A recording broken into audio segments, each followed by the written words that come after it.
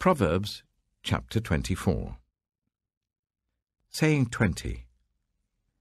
Do not envy the wicked, do not desire their company. For their hearts plot violence, and their lips talk about making trouble. Saying 21. By wisdom a house is built, and through understanding it is established. Through knowledge its rooms are filled with rare and beautiful treasures. Saying 22 The wise prevail through great power, and those who have knowledge muster their strength. Surely you need guidance to wage war, and victory is won through many advisers. Saying 23 Wisdom is too high for fools. In the assembly at the gate they must not open their mouths. Saying 24 Whoever plots evil will be known as a schemer. The schemes of folly are sin, and people detest a mocker. Saying 25. If you falter in a time of trouble, how small is your strength? Rescue those being led away to death, hold back those staggering towards slaughter.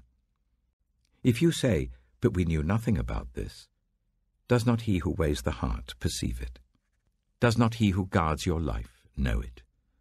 Will he not repay everyone according to what they have done? Saying 26 Eat honey, my son, for it is good. Honey from the comb is sweet to your taste. Know also that wisdom is like honey for you. If you find it, there is a future hope for you, and your hope will not be cut off. Saying 27 do not lurk like a thief near the house of the righteous. Do not plunder their dwelling place. For though the righteous fall seven times, they rise again, but the wicked stumble when calamity strikes. Saying 28 Do not gloat when your enemy falls. When they stumble, do not let your heart rejoice. Or the Lord will see and disapprove and turn his wrath away from them. Saying 29 Do not fret because of evildoers, or be envious of the wicked, for the evildoer has no future hope, and the lamp of the wicked will be snuffed out. Saying 30 Fear the Lord and the King, my son, and do not join with rebellious officials, for those two will send sudden destruction on them, and who knows what calamities they can bring. These also are sayings of the wise. To show partiality in judging is not good. Whoever says to the guilty, You are innocent, will be cursed by peoples and denounced by nations. But it will go well with those who convict the guilty, and rich blessing will come on them. An honest answer is like a kiss on the lips. Put your outdoor work in order and get your fields ready. After that, build your house. Do not testify against your neighbor without cause. Would you use your lips to mislead? Do not say, I'll do to them as they have done to me. I'll pay them back for what they did. I went past the field of a sluggard, past the vineyard of someone who has no sense. Thorns had come up everywhere, the ground was covered with weeds, and the stone wall was in ruins. I applied my heart to what I observed, and learned a lesson from what I saw a little sleep, a little slumber, a little folding of the hands to rest, and poverty will come on you like a thief, and scarcity like an armed man. Proverbs chapter 25 These are more proverbs of Solomon, compiled by the men of Hezekiah, king of Judah. It is the glory of God to conceal a matter to search out a matter is the glory of kings. As the heavens are high and the earth is deep, so the hearts of kings are unsearchable. Remove the dross from the silver, and a silversmith can produce a vessel. Remove wicked officials from the king's presence, and his throne will be established through righteousness. Do not exalt yourself in the king's presence, and do not claim a place among his great men. It is better for him to say to you, Come up here, than for him to humiliate you before his nobles. What you have seen with your eyes do not bring hastily to court. For what will you do in the end if your neighbour puts you to shame? If you take your neighbour to court, do not betray another's confidence, or the one who hears it may shame you, and the charge against you will stand. Like apples of gold in settings of silver is a ruling rightly given. Like an earring of gold or an ornament of fine gold is the rebuke of a wise judge to a listening ear. Like a snow-cooled drink at harvest time is a trustworthy messenger to the one who sends him. He refreshes the spirit of his master. Like clouds and wind without rain is one who boasts of gifts never given.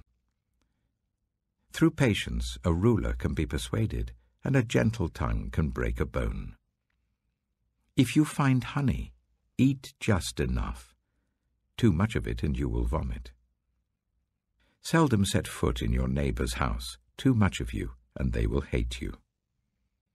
Like a club or a sword or a sharp arrow is one who gives false testimony against a neighbour. Like a broken tooth or a lame foot is reliance on the unfaithful in a time of trouble. Like one who takes away a garment on a cold day, or like vinegar poured on a wound, is one who sings songs to a heavy heart. If your enemy is hungry, give him food to eat. If he is thirsty, give him water to drink. In doing this, you will heap burning coals on his head, and the Lord will reward you. Like a north wind that brings unexpected rain is a sly tongue, which provokes a horrified look. Better to live on a corner of the roof than share a house with a quarrelsome wife. Like cold water to a weary soul is good news from a distant land.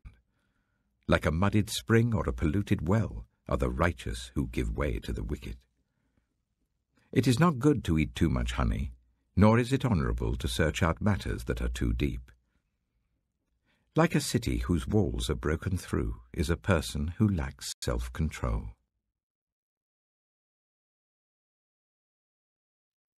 Proverbs chapter 26 Like snow in summer or rain in harvest, honour is not fitting for a fool. Like a fluttering sparrow or a darting swallow, an undeserved curse does not come to rest a whip for the horse, a bridle for the donkey, and a rod for the backs of fools. Do not answer a fool according to his folly, or you yourself will be just like him. Answer a fool according to his folly, or he will be wise in his own eyes. Sending a message by the hands of a fool is like cutting off one's feet or drinking poison. Like the useless legs of one who is lame is a proverb in the mouth of a fool.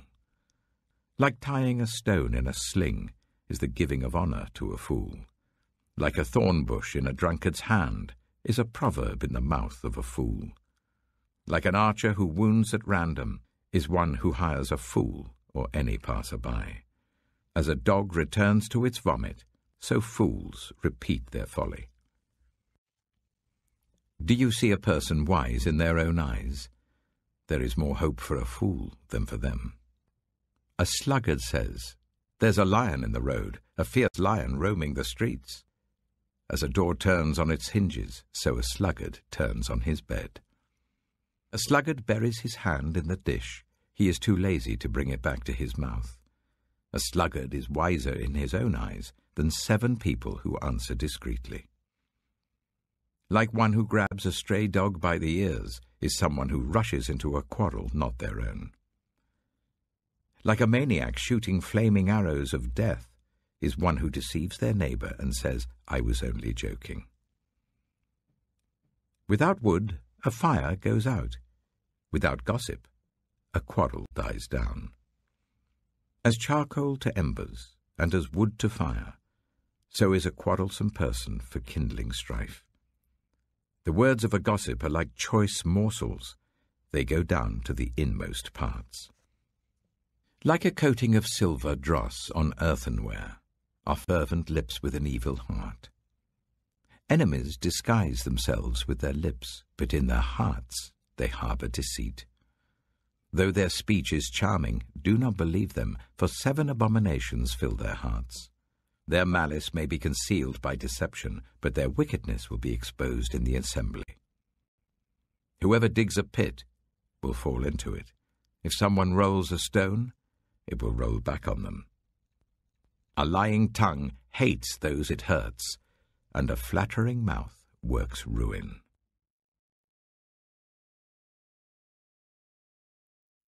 1 Thessalonians 1 Thessalonians chapter 1 Paul, Silas and Timothy to the church of the Thessalonians in God the Father and Lord Jesus Christ. Grace and peace to you. We always thank God for all of you and continually mention you in our prayers. We remember before our God and Father your work produced by faith your labour prompted by love, and your endurance inspired by hope in our Lord Jesus Christ. For we know, brothers and sisters, loved by God, that He has chosen you, because our gospel came to you not simply with words, but also with power, with the Holy Spirit and deep conviction. You know how we lived among you for your sake. You became imitators of us and of the Lord, for you welcomed the message in the midst of severe suffering with the joy given by the Holy Spirit. And so you became a model to all the believers in Macedonia and Achaia. The Lord's message rang out from you, not only in Macedonia and Achaia. Your faith in God has become known everywhere. Therefore, we do not need to say anything about it, for they themselves report what kind of reception you gave us. They tell how you turned to God from idols to serve the living and true God, and to wait for his Son from heaven, whom he raised from the dead, Jesus, who rescues us from the coming wrath.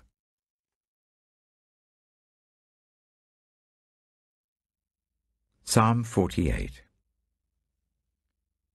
Great is the Lord, and most worthy of praise, in the city of our God, his holy mountain. Beautiful in its loftiness, the joy of the whole earth, like the heights of Zaphon, is Mount Zion, the city of the great king. God is in her citadels. He has shown himself to be her fortress. When the kings joined forces, when they advanced together, they saw her and were astounded. They fled in terror. Trembling seized them there, pain like that of a woman in labor. You destroyed them like ships of Tarshish, shattered by an east wind. As we have heard, so we have seen in the city of the Lord Almighty, in the city of our God, God makes her secure forever. Within your temple, O God, we meditate on your unfailing love.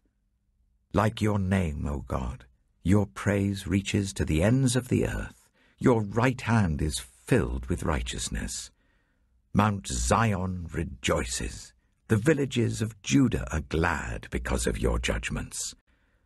Walk about Zion, go around her, count her towers, consider well her ramparts, view her citadels, that you may tell of them to the next generation. For this God is our God for ever and ever. He will be our guide, even to the end.